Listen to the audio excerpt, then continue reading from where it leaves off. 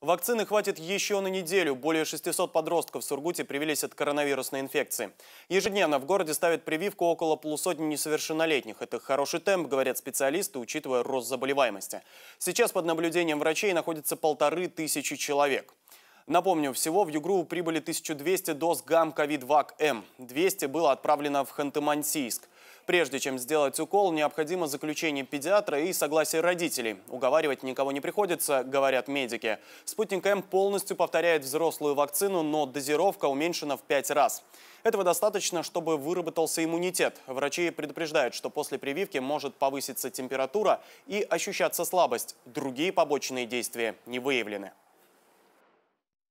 На самом деле вакцина очень хорошая и хорошо принимается на сегодняшний день нашими детьми.